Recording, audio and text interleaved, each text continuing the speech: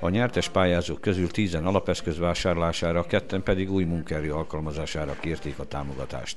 Dragan Vukovic egy nyomdaipari vállalkozás tulajdonosa is alapeszköz vásárlására kért és kapott 500 ezer dináros önkormányzati támogatást. A sredstva koja će biti e, namenjena, to je znači za posticanje, znači napređivanje same tehnologije i samog e, asortimana proizvoda, odnosno usluga koje vršimo i dajemo na tržište.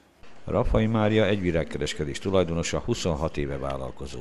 Ezúttal 270 ezer dinárt kapott alapeszköz vásárlására, és már is felvett egy embert a cégébe. A fiatalok ki a jövő, és oda érdemes befektetni, de viszont a már meglévő vállalkozásoknak is ez nagy lehetőséget nyújtott, hiszen a meglévő vállalkozásoknak is, mivel kitolódik a munkai, munkaívek száma és a nyugdíjkorhatár, nagyon nagy jelentőség, hogy versenyképesek maradjanak a piacon. A tavalyi 5 millió után idén 6 millió dinár különített el az önkormányzat a mikro- és kisvállalkozások támogatására. Mivel a kamattámogatások iránt a vállalkozók nem érdeklődtek, a következő pályázati kiírásban valószínűleg már nem szerepel majd ez a lehetőség, mondta Fejszlámer Robert polgármester. Mindig próbálunk az aktuális igényeire reagálni a vállalkozói szektornak.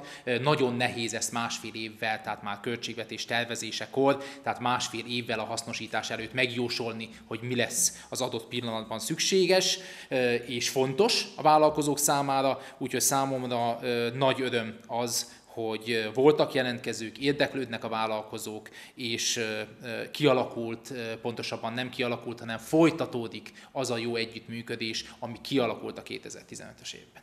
A fennmaradt mintegy 1 millió 200 ezer dináros pályázati keretösszegre az ősz folyamán írnak ki újabb pályázatot.